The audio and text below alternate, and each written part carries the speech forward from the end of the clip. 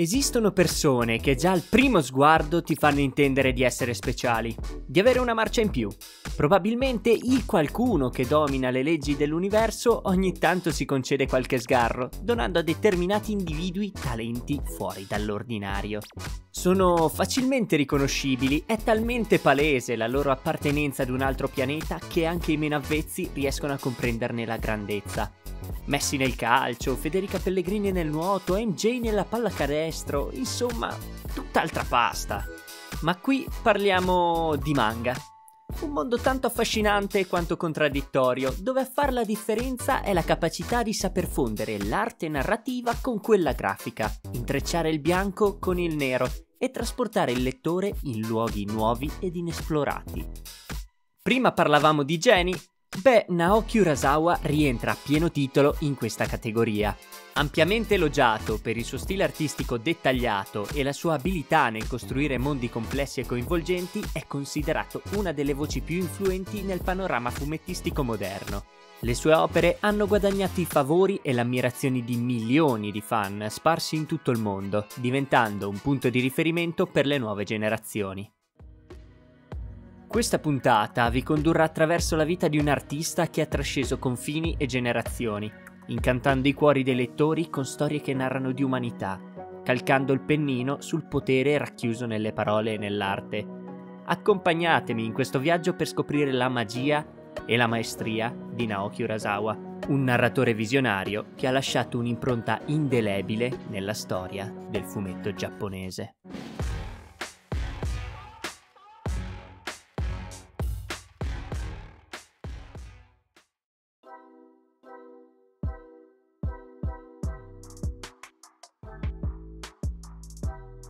Naoki nasce a Fuchu nel 1960 in una famiglia che specialmente per il tempo era tutt'altro che normale. Passa i primi anni della sua vita a yoga nel quartiere speciale di Setagaya a causa del divorzio tra i due genitori.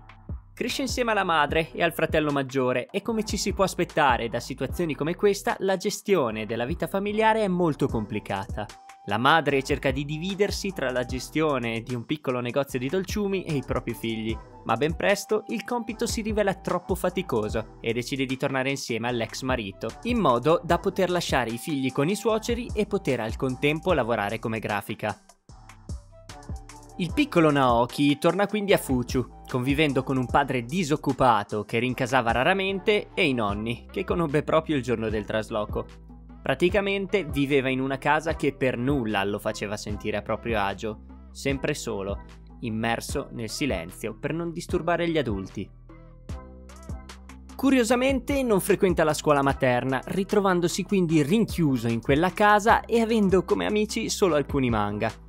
Davanti all'abitazione c'era una strada con della sabbia nella quale giocava da solo per tutta la giornata rincasando solo la sera, quando il sole calava, utilizzando il tempo rimasto disegnando sul retro bianco dei volantini pubblicitari. La grande svolta coincide con l'inizio delle scuole elementari. Per un bambino di 6 anni, abituato a vivere nella solitudine e nel silenzio, l'impatto è devastante. Si ritrova da un giorno all'altro circondate da decine di bambini urlanti e indomabili. Non sopportavo i miei coetanei, perché urlavano sempre e senza motivo. Quando iniziavano a strillare tutti assieme, il che succedeva spesso, provavo terrore. Avendo vissuto senza la minima interazione con gli altri bambini, faticava nel relazionarsi con loro, diventando presto vittima di bullismo.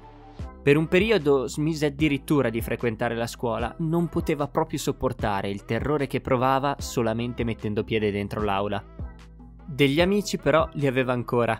Il mondo dei fumetti era sempre stato fortemente presente nella sua vita e gli permise di sviluppare una forte affinità con il disegno.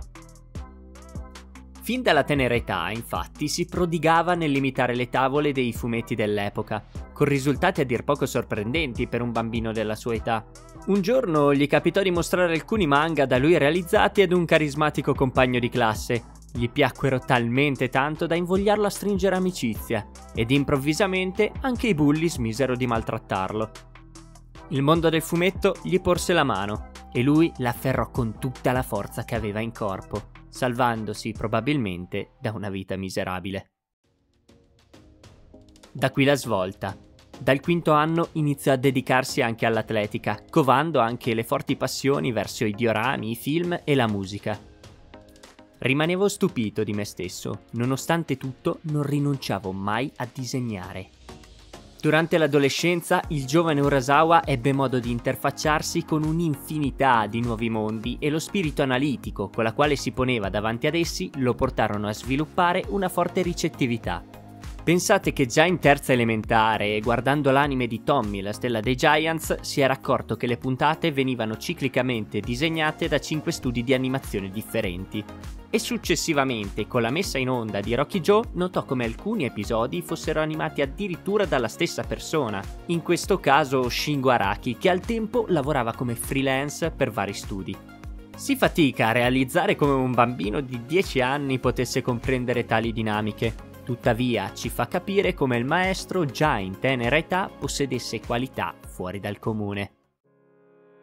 Ci fu un momento però che cambiò completamente il suo modo di vedere i manga. Era un giorno d'autunno, le foglie ingiallivano e si posavano dolcemente sul terreno, quando grazie al fratello gli capitarono tra le mani alcune parti della Fenice di Osamu Tezuka. Passò il pomeriggio in soggiorno, immerso nelle pagine realizzate dal dio dei manga. L'emozione era così forte da avergli svuotato la mente. Dal momento in cui finì di leggerli, fino a quando mi accorsi che era calato il sole, non ricordo nulla. Non credevo esistesse al mondo una persona capace di disegnare un manga come quello. Era come se avessi scoperto un nuovo mondo. Da lì iniziò a disegnare imitando le creazioni di Tezuka, sviluppando una sorta di fissazione per le opere del maestro non riusciva a togliersi dalla testa quella storia. Con i pochi spiccioli messi da parte decise di andare al Festival del Cinema tenutosi a Tokyo nel 1975 dove donò parte dei suoi risparmi affinché la Mushi Production, lo storico studio di animazione di Tezuka, venisse ricostituito. La passione c'era e il talento pure. Manca soltanto un tassello per completare il puzzle raffigurante gli esordi di Naoki Urasawa come mangaka. Mi sto riferendo alla fortuna. Come gran parte dei suoi coetanei, Urasawa si iscrive all'università. Sceglie una facoltà di economia vicina a casa, ma la sua attenzione è rivolta a tutt'altro. Nessun manga attira la sua attenzione, tra le tante proposte che il mercato nipponico offre non riesce a trovare qualcosa di diverso che lo stimoli. Tuttavia, si sa, quando meno te lo aspetti accadono le cose più impensabili. E proprio in quel momento di bonaccia, il caso vuole che gli passa tra le mani una locandina raffigurante un disegno realizzato da un artista che risultò fondamentale nella sua crescita artistica, il maestro Katsuhiro Otomo.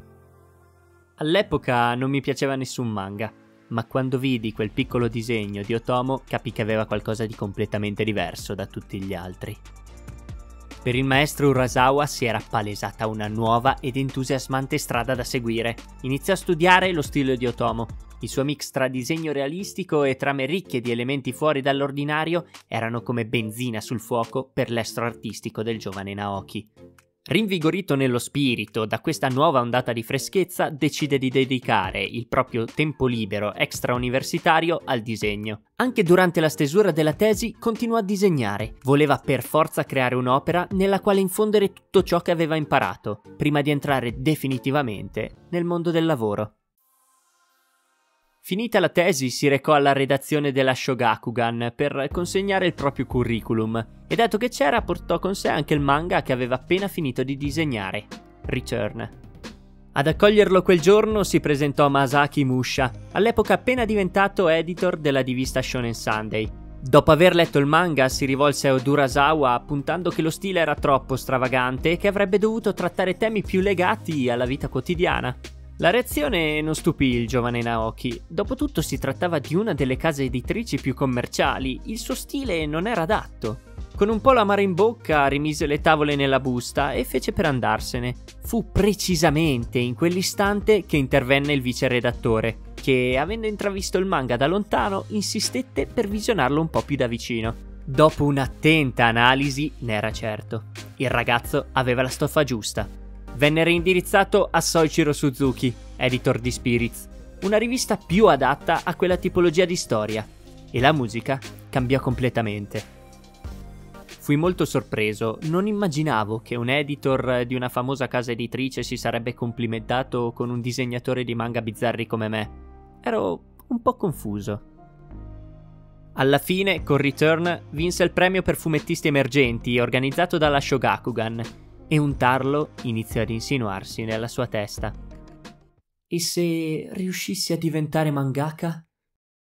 Nel mentre aveva ricevuto un'offerta di lavoro nel reparto design di un'importante azienda di giocattoli e si ritrovò davanti ad un bivio cruciale per la sua carriera.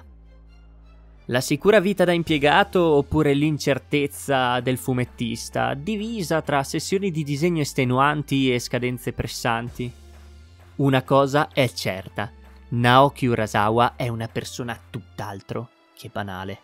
Quel premio fece scattare qualcosa corse dal padre e gli comunicò che avrebbe intrapreso la strada del mangaka professionista. Non era in cerca di approvazione, voleva palesare la propria determinazione. Lui sarebbe diventato mangaka.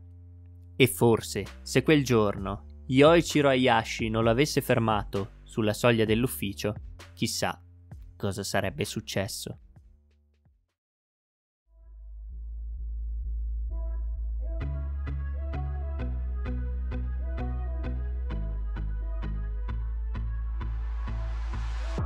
Ormai siamo abituati a vedere le opere di Urasawa come marchio di qualità. Per quanto una storia possa non piacere, la fluidità di narrazione e la qualità delle tavole sono di un livello talmente elevato da essere prese come Bibbia dalle nuove leve. In molti però ignorano il suo percorso di crescita. In seguito al successo di Return, venne intimato dalla casa editrice di mettersi al lavoro per una nuova opera, gli anni successivi lo videro impegnato con numerose storie one shot, ovvero fumetti brevi presentati al pubblico nella propria interezza. Tra queste troviamo Beta, dove un giovane ragazzo si sveglia la mattina con una banda nera che gli copre gli occhi.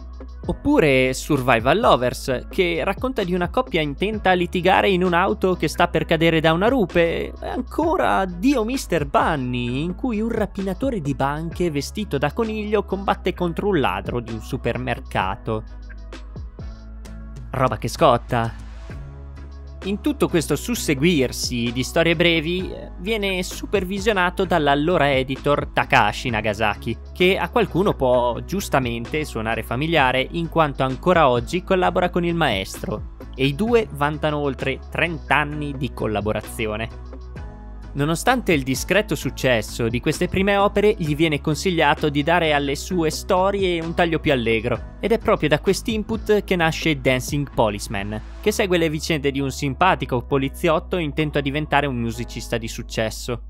Con i suoi sette capitoli fu di fatto la prima pubblicazione a puntate del maestro e spalancò le porte per qualcosa di molto più grande. Difatti, Nagasaki, che nel mentre si era trasferito in un altro reparto, stava rimuginando su un'idea. Sia lui che Urasawa condividevano la stessa tendenza a creare manga piuttosto raffinati, quindi perché non provare a fare qualcosa di appositamente rozzo? La proposta inizialmente non convinse appieno Urasawa, tuttavia una frase rimase impressa nella sua mente. Creare un manga appositamente rozzo non significava avere dei brutti gusti, avrebbero semplicemente fatto un esperimento. Nasce così. Pineapple Army. L'idea era quella di disegnare un'opera che potesse sostituire Golgo 13, che per chi non lo sapesse è il manga più longevo ancora in corso, entrando ufficialmente nel 2021 con i suoi oltre 50 anni di pubblicazione nel Guinness dei primati. Infatti, se nell'opera di Takao Saito si parla di un sicario professionista, in Pineapple Army il protagonista, Jed Goshi, si diletta nell'insegnamento sotto compenso di tecniche militari e di autodifesa. Nonostante tali premessi, Naoki non vede in tale opera una sua creazione. Lo sceneggiatore Kazuya Kudo aveva creato un protagonista fortissimo, sicuro di sé e dall'aura invincibile immagine che differiva completamente dalla sua visione, nella quale aveva più senso parlare di uomini comuni nella cui quotidianità è possibile trovare la vera essenza dell'uomo. Parallelamente a tale opera, nel 1986 iniziò la pubblicazione della sua prima storia in solitaria, Yawara, portando avanti di fatto due opere contemporaneamente, modus operandi che manterrà invariato per circa vent'anni. Sapevo che Yawara sarebbe diventato un bestseller. L'avevo concepito in maniera naturale, sentivo che l'avrei disegnato bene e che sarebbe divenuto popolare. In contrapposizione con quanto detto prima, in quest'opera la protagonista, Yawara, è un genio del judo, addestrata rigorosamente fin dall'infanzia dal nonno Jigoro. La trama gioca molto sul contrasto tra il suo grande talento e la normalità dei personaggi che orbitano attorno a lei, creando situazioni interessanti, buffe e alle volte innovative. Visto il successo riscontrato dall'opera, che divenne presto il titolo di punta di Big Comic Spirits, rivista nella quale veniva pubblicata, e il malcontento derivante dal continuare a disegnare un'opera che non sentiva sua, nel 1988 il maestro decise di terminare Pineapple Army. Voleva disegnare un protagonista che incarnasse lo spirito di un uomo normale, un po' debole e ingenuo, pieno di dubbi e dal carattere indeciso, un personaggio nella quale chiunque potesse immedesimarsi. E fortunatamente c'era un vecchio amico che la vedeva esattamente nella stessa maniera, il signor Nagasaki. Mentre Yawara cavalcava le onde del successo, prende il via su Original una storia in cui il protagonista è quel tipo di persona che si metterebbe ad osservare la preparazione del tofu dimenticandosi completamente di andare a lavoro. Sto parlando di Master Keaton, la storia segue le avventure di Taichi Iraga Keaton, un ex membro delle forze speciali britanniche e professore di archeologia, che si guadagna da vivere come investigatore privato e assicuratore, risolvendo misteri, casi di assicurazione e avventure in tutto il mondo. La trama è strutturata attraverso un susseguirsi di episodi autoconclusivi, il che permette ad Urasawa di spaziare tra numerosi temi ed ambientazioni diverse, dando libero sfogo alla propria fantasia, diventando quasi una sfida contro se stesso. Un vero e proprio test atto a prendere coscienza dei propri limiti, con il solo scopo di superarli. Volevo suscitare un tipo di sensazione che il lettore non aveva mai provato, quindi proponevo ogni volta una conclusione nuova, e dopo aver provato ogni tipo di tesi immaginabile sono arrivato a proporre persino un finale aperto che non suscitava nessuna emozione. Fondamentale per lo sviluppo delle opere future, Master Keaton si conclude nel 1994, mentre l'anno prima terminò anche la serializzazione di Yawara, in circostanze tutt'altro che serene.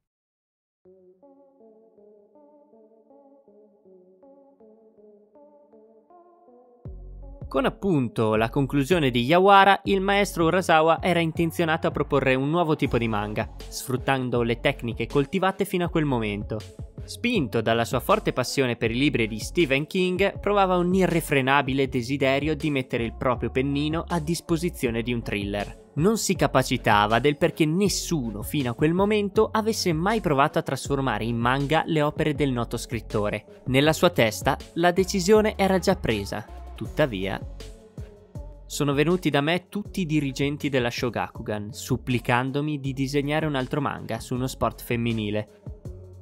Con la fine dell'opera di punta della rivista, la casa editrice si trovava di fronte ad un bivio. Assecondare le richieste dell'autore, facendo di fatto un salto nel buio, oppure andare sul sicuro, proponendo una formula vincente e già rodata, Credo che non serva nemmeno puntualizzare che la prima opzione non fu minimamente presa in considerazione.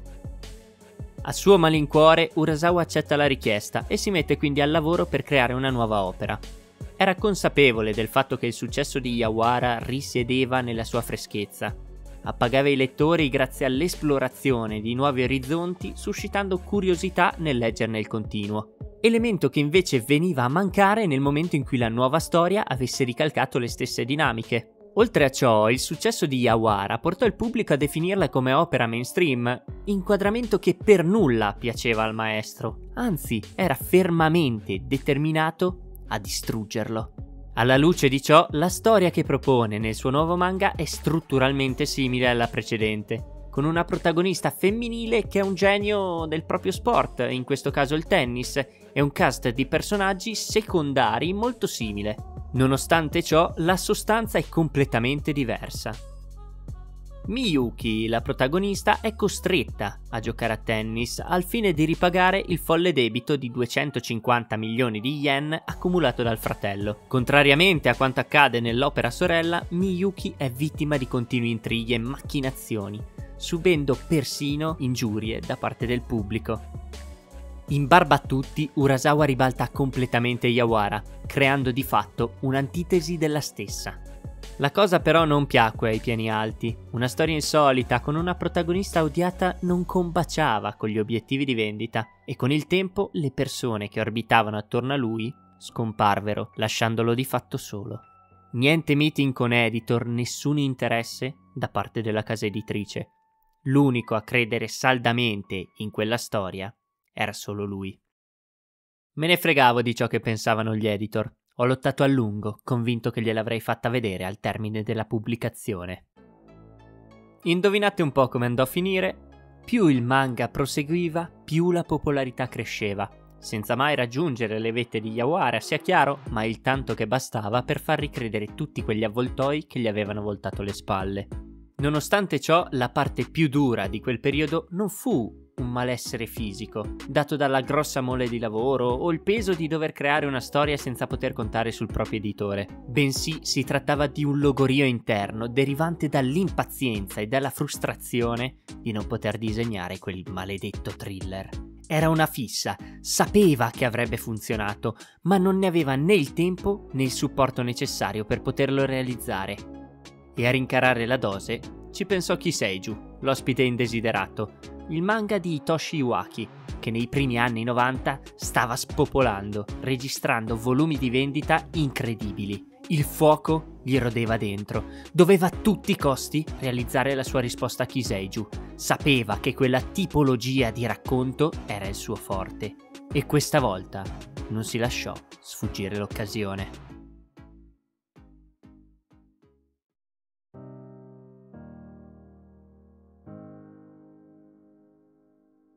Non appena venne concordata la fine di Master Keaton nel 1994, l'attenzione del maestro Urasawa si convogliò totalmente sulla nuova storia, trovando l'appoggio ormai rodato del signor Nagasaki. Si misero all'opera, i meeting filavano liscio, entrambi trovarono l'intesa perfetta. Stavano per dare il via a quello che per molti rimane tutt'oggi la sua opera magna. Ebbene sì, nel 1994 cominciò la serializzazione di Monster.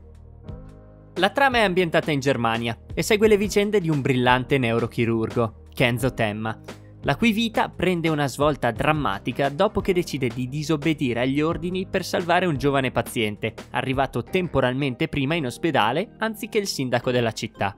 La sua decisione scatena una serie di eventi nella quale misteriosamente è collegato un serial killer, Tenma prende atto delle proprie azioni e cerca di redimersi cercando il responsabile. Facendo la cosa moralmente più giusta, ha risvegliato un mostro e ciò lo segnerà per sempre.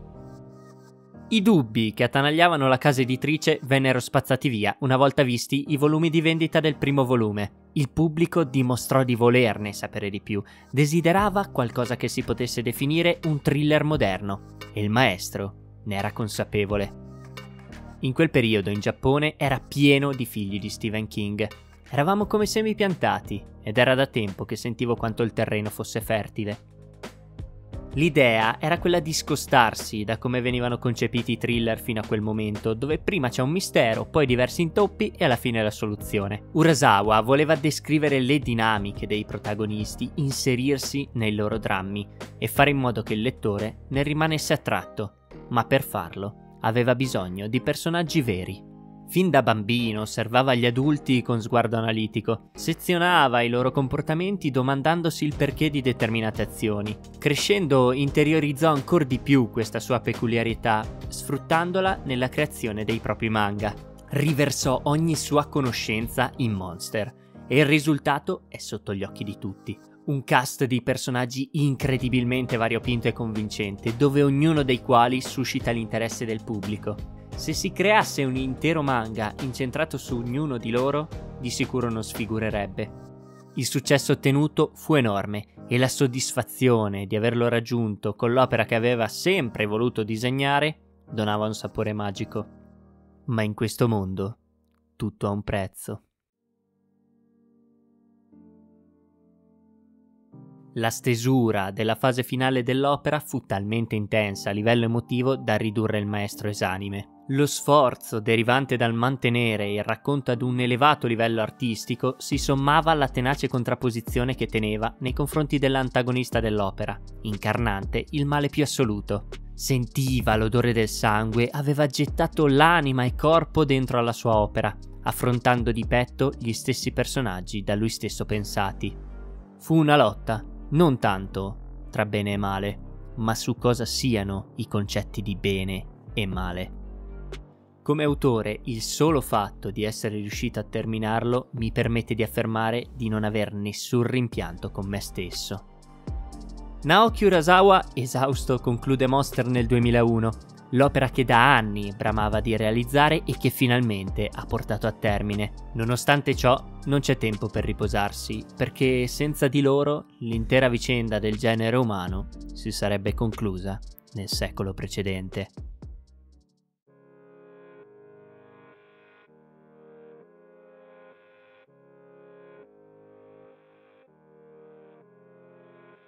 Facciamo un piccolo salto indietro, precisamente nel 1999. Il maestro si sta rilassando nella sua vasca da bagno dopo l'ultimo estenuante meeting di Happy, che sanciva di fatto la fine dell'opera. La sua mente vagava nella disperata ricerca di un po' di tranquillità. Tuttavia, il suo volto assume improvvisamente una strana espressione. Una lampadina si era accesa. Come se stesse guardando un film, gli passò davanti agli occhi una scena ambientata durante l'Assemblea delle Nazioni Unite. Subito corse a prendere carta e penna, affrettandosi ad appuntare una frase. Senza di loro, l'intera vicenda del genere umano si sarebbe conclusa nel secolo precedente.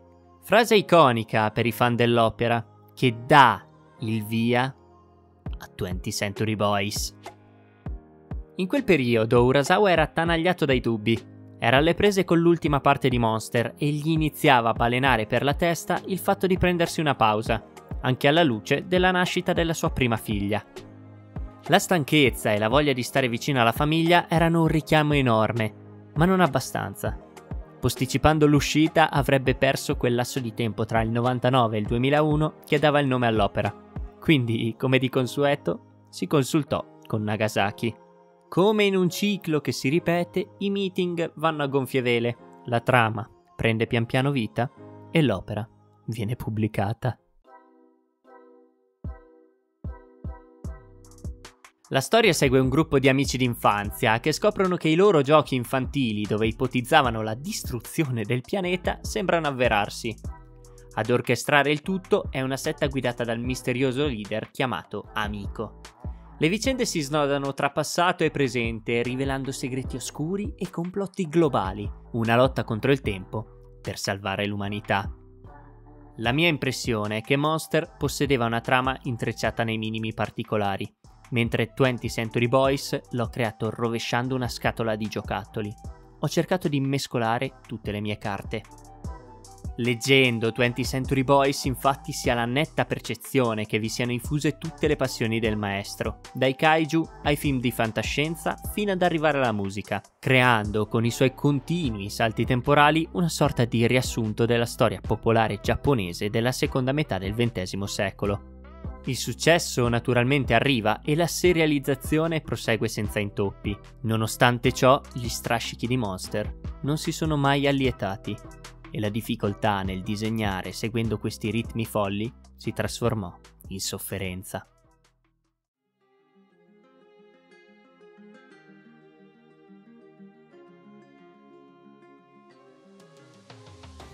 Con la fine di Monster, nel 2001 si interrompe il filotto di anni consecutivi passati a disegnare due opere in contemporanea, e per i due anni successivi l'unico impegno artistico di Urasawa fu il capitolo settimanale di 20th Century Boys. Ma penso sappiate bene, come dice il detto, il lupo perde il pelo ma non il vizio. Inoltre l'offerta che gli stava per arrivare era a dir poco irrifiutabile. Come segno del destino, di un qualcosa o qualcuno che non accettava proprio il fatto che si godesse del meritato riposo, tra virgolette, visto che comunque stava semplicemente iniziando a disegnare a ritmi umani, nel 2003 pervenne agli uffici della Shogakugan una particolare richiesta. Il mandante? La Tezuka Production. Il contenuto era semplice. Cercavano un mangaka interessato a realizzare un'opera tributo ad Astro Boy. Quando il signor Katayose mi chiese se sarei stato interessato a fare qualcosa in merito, gli dissi che mi ero sempre chiesto perché nessuno avesse mai avuto il coraggio di disegnare un rifacimento di un'opera grandiosa come quella. Realmente la decisione non fu così immediata, però le sensazioni provate da ragazzo leggendo quell'opera erano ancora profondamente radicate in lui. Il legame sentimentale che il giovane Naoki aveva per Tezuka trascendeva la ragione. Con il susseguirsi di meeting l'idea divenne concreta, ma qualcosa turbava il maestro. Un pensiero continuava a ronzargli per la testa, non riusciva ad interiorizzare il fatto di dover rifare la Bibbia della sua infanzia. Per lui era categoricamente impossibile pensare di mettersi allo stesso piano con il dio dei manga. Questa zavorra lo attanagliava giorno e notte, tanto che con il passare degli incontri con l'editor lo stress accumulato fu tale da sfociare in orticaria. Dietro le ginocchia si erano formate delle bolle striate che andavano peggiorando di volta in volta. L'unica cura che riuscì a trovare fu iniziare a disegnarlo, passare dalla modalità producer a quella mangaka, facendo ciò che gli riesce meglio. Fu così che il 9 settembre 2003 iniziò la serializzazione di Pluto.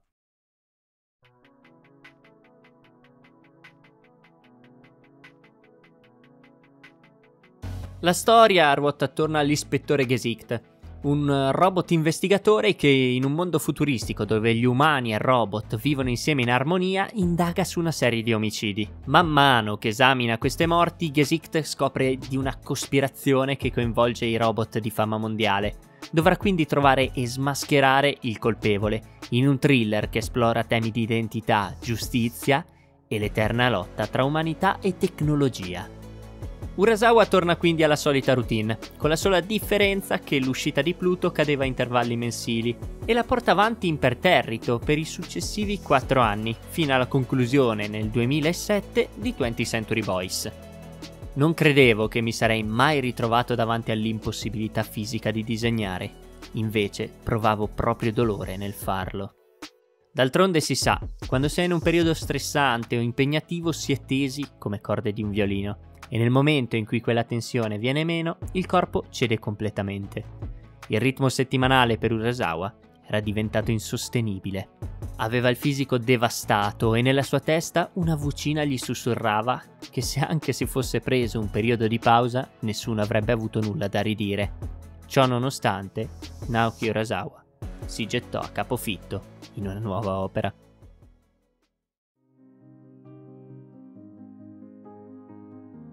Come prima facciamo un passo indietro. È il 2001 e 20th Century Boys ha inaspettatamente appena vinto il premio Kodansha nella categoria generale. Molto strano dal momento che si tratta di una casa editrice rivale rispetto alla Shogakugan e la cosa impensierisce un po' il maestro. Visto che premiarono un manga pubblicato da un'altra casa editrice, pensai che volessero che disegnassi qualcosa per loro. Ebbene, l'intuizione si rivelò corretta. Di lì a poco si ritrovò Eijiro Shimada della rivista Morning regolarmente in giro per casa. Una volta al mese per circa 4 anni andò a trovare il maestro chiedendogli di pensare ad una storia interessante da poter pubblicare con loro. Una dedizione alla causa incredibile, direi quasi ammirabile, bisogna dirlo.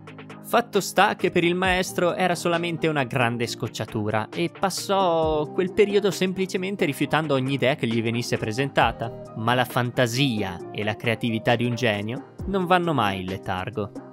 Tra tutte quelle idee scartate, Urasawa riuscì comunque a ricavare un incipit per una storia breve, il cui soggetto principale era un bizzarro pipistrello. La cosa rese euforico l'instancabile Shimada, che non perse tempo e in 448 presentò al grande pubblico Billy Bat. La storia segue Kevin Yamagata, un fumettista di origine giapponese, che crea un personaggio chiamato appunto Billy Bat nel suo fumetto, ma quando si rende conto che il soggetto della sua opera sembra essere reale e collegato ad una serie di eventi storici e di complotti, inizia un'avventura per svelare la verità dietro ad esso ed il mistero che circonda il suo stesso lavoro. Con quest'opera Urasawa cerca di sfondare la quarta parete, creando un manga all'interno di un altro manga, ponendo al lettore una sostanziale domanda. Un fumetto può cambiare il mondo. Volevo fare un racconto che si avvicinasse come grandezza alla Fenice. Con Billibat il maestro si diverte, spazia da un'epoca all'altra come un bambino incapace di decidere con che cosa giocare. Parte dal concetto di lettura e dall'esperienza derivante da essa, evidenziando il potere delle storie e dell'influenza che le stesse hanno avuto sull'umanità.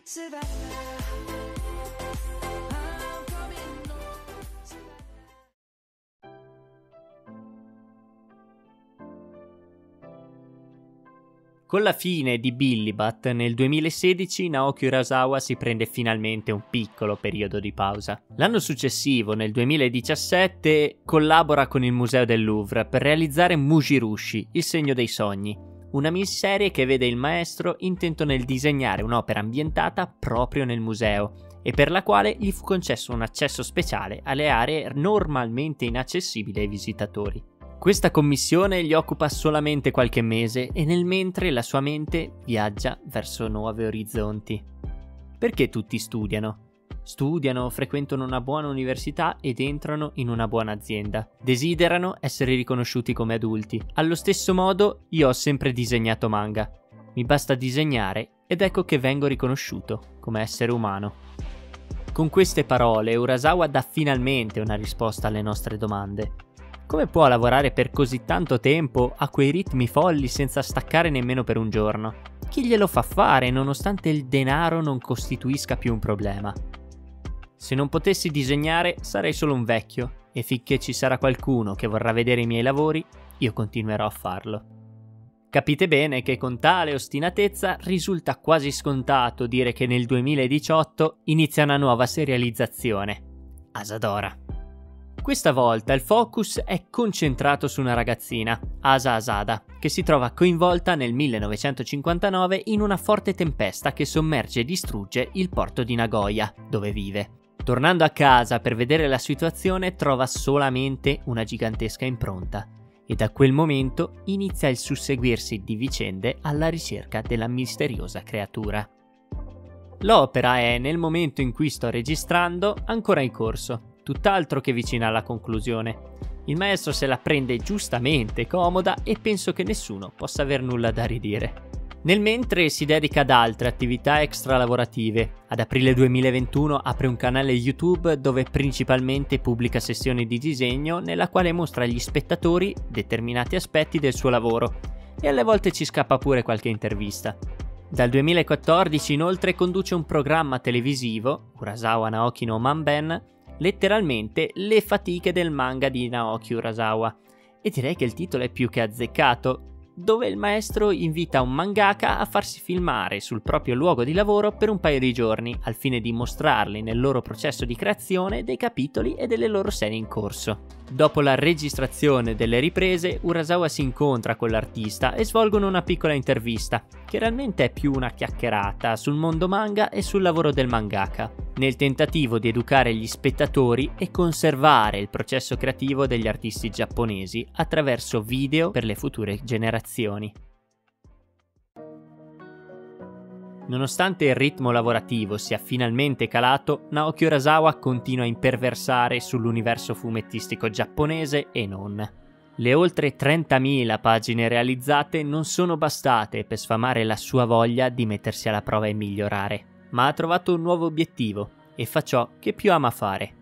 È ancora presto per capire quale sia stato l'apice della sua carriera fumettistica, Tuttavia, nel racconto della vita di Naoki Urasawa, il pennino della creatività ha tracciato un percorso unico. Attraverso linee e tratti ha dipinto mondi vibranti e personaggi indimenticabili. Ogni pagina della sua storia rappresenta un capitolo di passione e impegno, in cui il talento e l'ispirazione si intrecciano. Con il suo inchiostro ha illuminato l'immaginario di milioni di lettori in tutto il mondo lasciando un'impronta indelebile nella storia del manga, dimostrando che le storie sono ponti che uniscono culture e anime lontane, un linguaggio universale che conosce solo la verità della condivisione.